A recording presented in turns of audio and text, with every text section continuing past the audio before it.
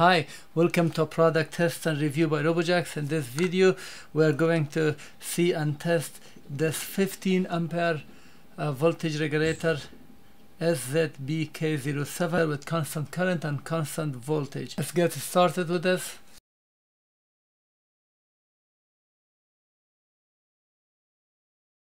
In this video we are going to first explain the hardware with all the inputs, output and how to control voltage and current. After that I'm going to start testing this. First I will test the output regulation to see if it can give you any desired voltage that you want at the output. With input voltage of 30, 24, 15, 12, 9 and 5 volts we are going to get those standard voltages of 24, 15, 12, 9, 5 and 3.3 volts. Then we will look at the ripple voltage at the output as well. Module has an input voltage of uh, 6 to 40 volts and the output voltage you can get is 1.2 to 36 volts and the total current that this can handle is 15 ampere with the current heatsink. And we are going to test it and see how it can handle all this uh, current.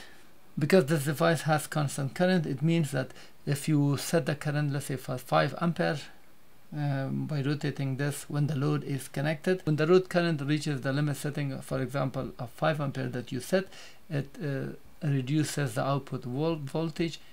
Here is this module now. Here is the module. We have an input on this left side if you see the switch in here. So we have a on and off switch that turn this off. There is a power LED here and then we have these two terminals the negative is there the positive here. Phillips screwdriver it seems they're uh, not that high quality but the, but uh, one point it has been soldered on this side. And these are the output terminals that you will connect your wires under these screws and then tighten it. And we have two potentiometer here uh, the first one is here as CV constant voltage. So with this one you regulate the output voltage. And the second one is CC this is constant current. And with this one you can set your uh, current limit. There is no meter for that so you have to experiment and connect a load and then measure the current and then turn this and to see. And then the two regulators there is one regulator on this side uh, with a heatsink and then the other one is connected on this side. And the main chip that is doing the regulation is at the bottom with all these components. So when you're using this make sure that you have enough protection at the bottom. Otherwise anything will touch and one of these components resistor capacitor or maybe even the chip will pop out. So it needs protection. But uh, the heatsink have been connected using these two screws here so this seems to be very solid. Uh, this winding is also tightened enough. These two cables or these two wires are from this winding. Width of this module is 53 millimeters. The length is 60 millimeters. Depth of this module including those pins that are out is 28.3 millimeter it weighs 85.1 grams. I just removed this MOSFET from here. It's IRF B3607. Uh, this is a 75 ampere. This is a 75 volts 80 ampere uh, MOSFET. And this one is also IRFB3607. And I was not able to read the model of this chip. This is a datasheet for the MOSFET that is used in this module. This is a N-channel MOSFET as you can see the drain current is 80 volt and the drain source voltage is 75 volts. The drain source uh, resistance is 7.34 milliohm and the maximum is 9 milliohm so I will provide the link for this in case if you want to uh, read it further.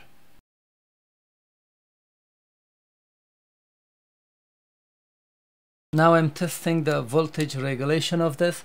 So we're applying whatever voltage that we have at the input for example 30 volt that I enter I should be able to get anything below 30 up to 5 volts. See what we get at the 30 volts the maximum voltage that we can get.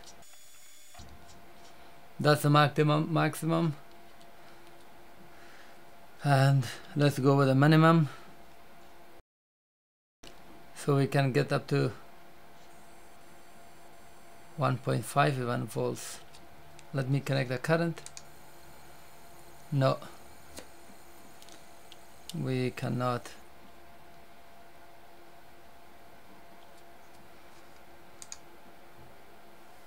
So we can get around to 2.5 volts with 30 volts the minimum voltage that we get.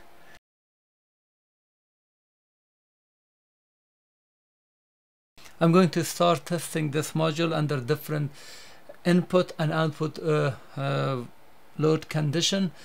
Uh, first I'm going to start with the highest voltage that this can accept around 36 volts so I'm entering it as 30 volts. And then we go with the standard voltages such as 24 volts uh, 15 volts 12 5 3.3 volts. So all those voltages that are standard I'm going to test it and then we'll see what amount of current that this can handle in those voltages. So starting with 30 I'm gonna set the output voltage at 24 volts. Uh, this is the potentiometer for the voltage. The suggested current is 15 ampere and we are going to test it with 15 and here I'm setting the current here. Once the load is connected you will see it here. This is now just a voltmeter connected to the to this. Once I turn this on you will see the 15 ampere. So let me turn it on at 24 volts now 15 ampere is being drawn from this. As you can see my power supply is now uh, fan is on and you can hear it. So the voltage almost 1 volt drop. Tell the voltage is 900 millivolts drop. This is not acceptable so I have to reduce it until I get at 9 ampere and input is 7.2 ampere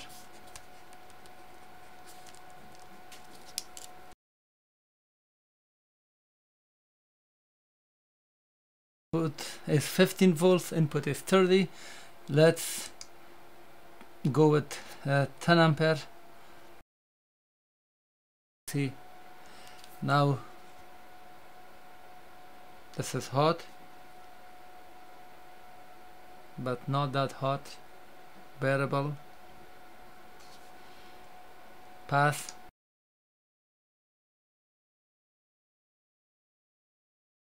now 12 volts. 12 ampere. So 12 amp.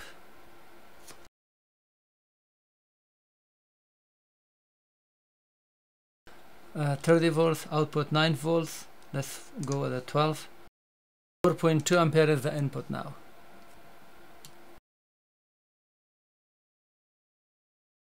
Now 30 volts and output 5 volts let's go to 13 amp. Very hot.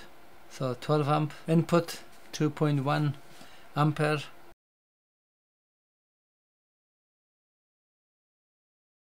Now 30 input 3.3 output. 1.3 at input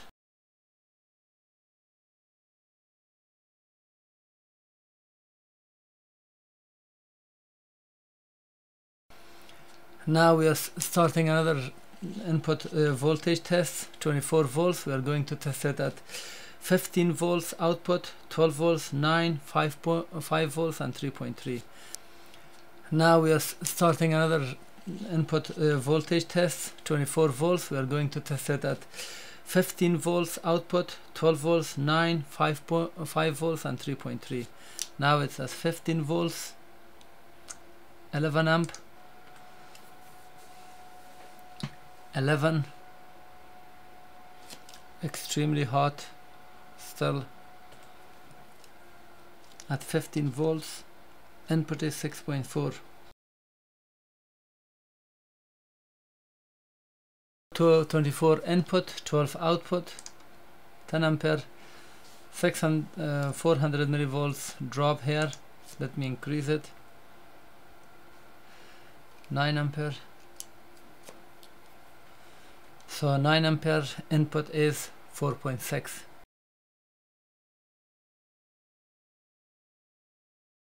now 24 volts in 9 put out. 9 ampere that's 400 millivolts drop. Still okay make it 10 amp. So now it's 10 ampere. It's more than 500 millivolts so I'm gonna reduce it back. So 9 ampere let's see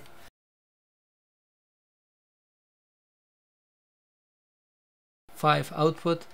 Let's go with 9 ampere. 500 millivolts drop. 9 ampere is acceptable but if I increase it it will either heat up or the voltage will drop. Now this is still dropping more than 500 millivolts. It's at the edge. Okay at the input we have 1.9 ampere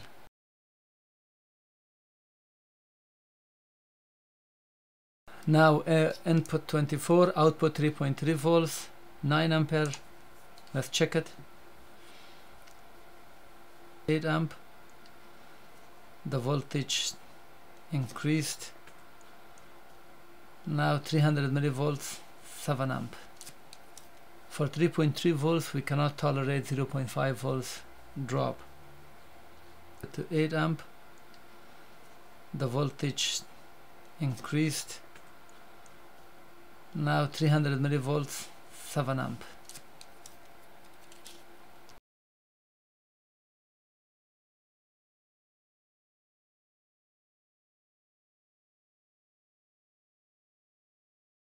Now I have connected 15 volts and the output we are going to test 12 volts 9 5 and 3.3 volts. Output is now 12 volts. That's connected with 7 amp so 400 millivolts drop that's fine let's increase it. 400 millivolts that's 8 ampere. 9 ampere 500 millivolts. If I go up it's below 500 millivolts so I'm going back at we have 9 ampere.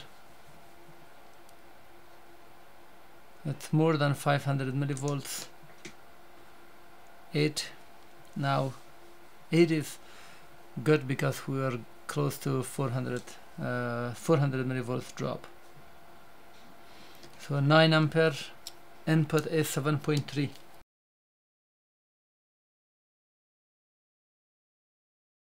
15 volts 9 output 9 ampere on 500 millivolts drop acceptable. Input is 5.5 ampere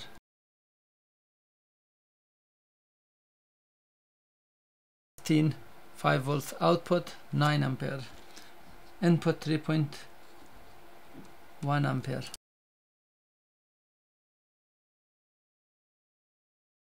Fifteen volts input, three point three output.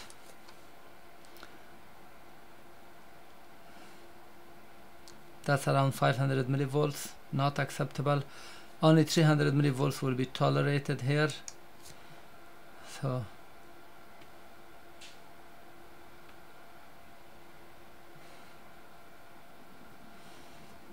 5 ampere will give you 3 volts which is 300 millivolts below the uh, limit. Input is 1.1 ampere.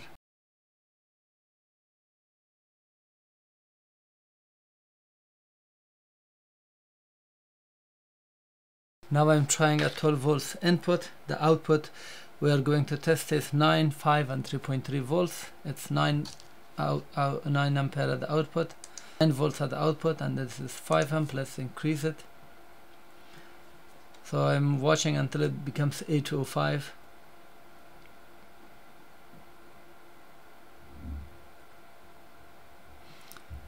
still good. Now it's more than 500 reducing.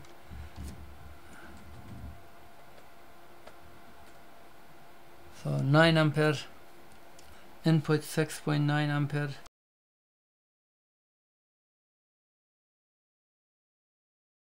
12 output is 5 with 9 amp 500 millivolts drop just at the edge.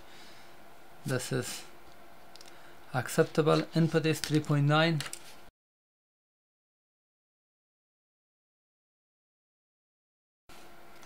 12 volts input 3.3 output 9 ampere. It's more than 300 millivolts drop so 8 ampere 7 6 ampere will give us 300 drop acceptable. Input is 1.7 amp.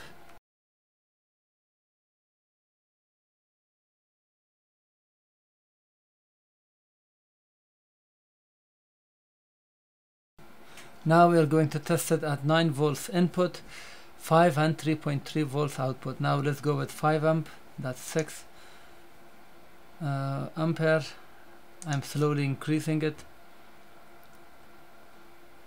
So above 500 millivolts drop not acceptable. So 7 amp is good.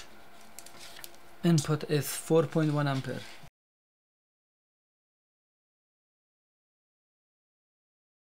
Nine volts input, 3.3 output with 7 amp. This is now acceptable. 5 ampere. Input is 1.9 ampere.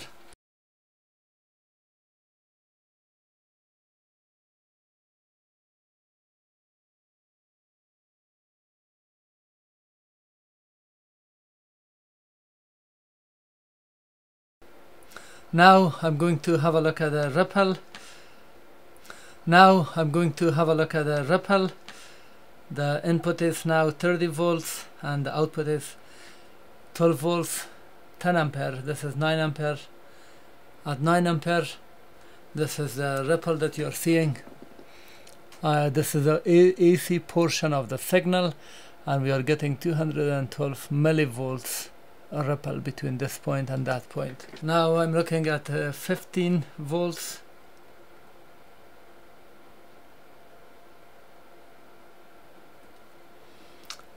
Ten ampere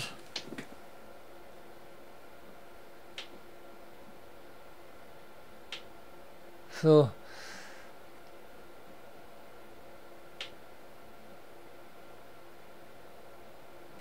Two hundred sixty four millivolts at 15 volts output. Now we are at 24 volts. We're getting almost 250 millivolts ripple 10 ampere at about 12 volts. We are getting again around 250 260 millivolts ripple 9 volts we are getting almost the same. At 5 volts we're getting almost the same. As you can see the switching frequency is reflecting here. Before the frequency was higher now it's lower because we are seeing less of those spikes. If you do not look at the spikes just from here to here it will be around 184 so let's go to 3.3 volts. Change around this is now around 216 millivolts ripple. And now without a current now this is